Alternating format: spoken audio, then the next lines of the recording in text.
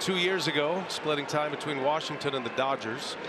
And a call, strike three, and Turner is livid. Lance Barksdale showing some restraint right here. Regular season game, he might have run him. Two. Had a beef. Yeah, I agree with you, B.A. He is lucky.